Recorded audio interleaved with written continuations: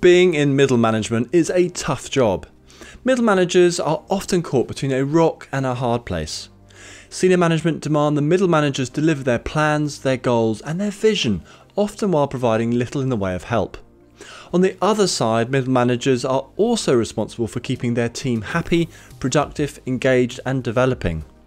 Senior management is focused on the next quarter and the next year. The workers are focused on today and next week. Middle managers are stuck in the middle trying to link both of these very different groups with different aims and needs. Being a middle manager is tough. Middle managers are absolutely vital in driving the success of a business. Research by McKinsey shows that organisations with top performing middle managers creates 3 to 21 times the shareholder returns compared to those companies with average managers over a 5 year period a compelling reason to invest to make your middle managers more successful. I share four vital ways to make your middle managers successful. Firstly, communicate more clearly your expectations plus the goals and deliverables you want from your middle managers. Secondly, train your middle managers in leadership so they become successful quicker. Third, provide responsibility and flexibility to your middle managers.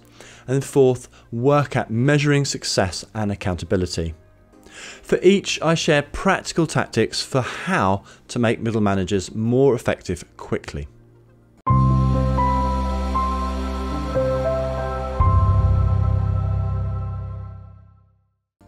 My name is Jess Coles, and if you're new here, Enhance.training shares people management expertise, resources, and courses teaching you how to build higher performing teams. I've included links to additional videos and resources in the description below, as well as a video timestamp, so do take a look at these.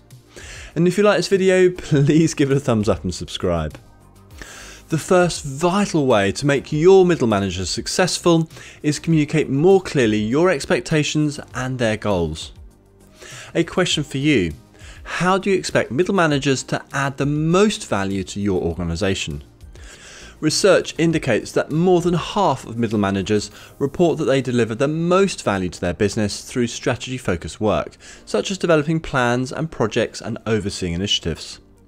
The second most commonly cited area that managers can add the most value in is developing their employees' skills and capability.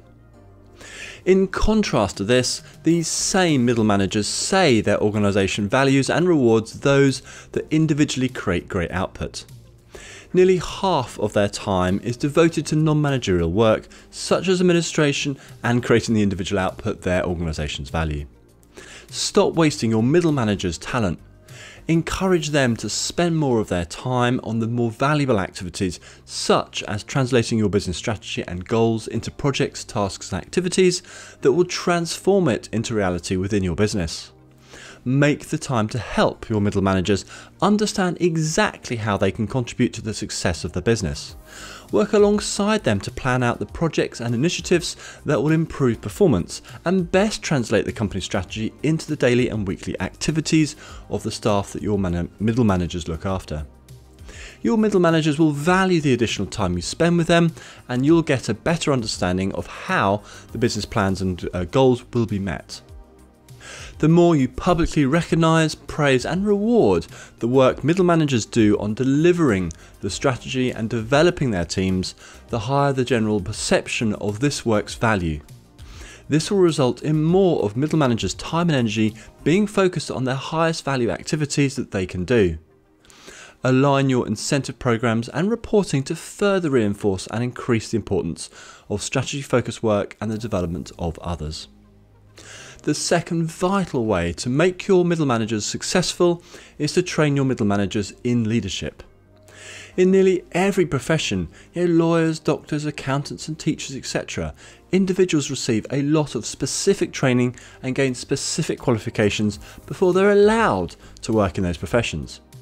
Most people promoted into management positions are expected to get on with the job and be successful with little or no specific training those organisations with middle managers in the top quartile on average create 3 to 21 times more shareholder value than those with managers in lower quartiles.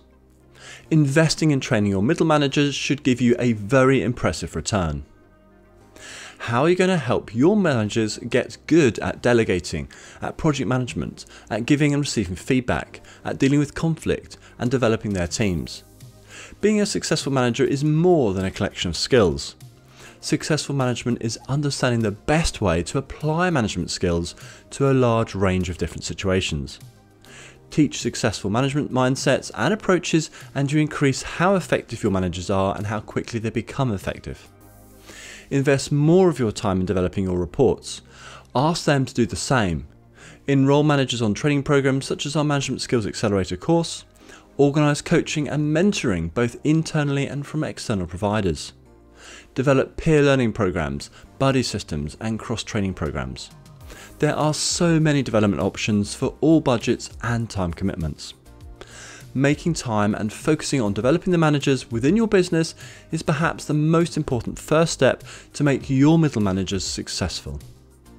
The third vital way to make your middle manager successful is to provide responsibility and flexibility to your middle managers. Your middle managers are asked to walk a tightrope between the leadership and the staff. To do this successfully and effectively, give them the responsibility and flexibility to make decisions based on the staff and situations they face. Middle managers are tasked with getting the best from their teams, with developing staff, with organising them, focusing team time on the most valuable areas, with keeping engagement high and motivation and ownership high as well. Having permission and the ability to adapt their approach will make them a lot more successful a successful team results in higher team and business performance. Good news for everyone. A barrier to pragmatic and flexible management is excessive rules, requirements, and bureaucracy. While a level of structure and process is needed to manage and control complex organisations, drowning middle managers in rules and administration definitely prevents them creating the value that you need them to.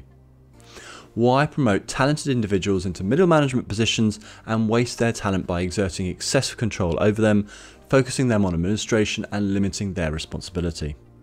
Work to reduce the bureaucracy and administration managers have to undertake. Automate as much reporting and low value tasks as practical. Change the way that you manage to give increasing amounts of autonomy and flexibility to those middle managers that earn it by delivering great team results remove unnecessary meetings, reduce forms, simplify approval requirements, and reduce the amount of low value reporting. Increase the range of decisions and responsibilities that the better performing middle managers are allowed to make. Another good longer term option is to review and potentially reduce the number of management layers, thus increasing job scope in each of these layers while saving costs. Do everything you can to maximize the time middle managers focus and devote to high value areas.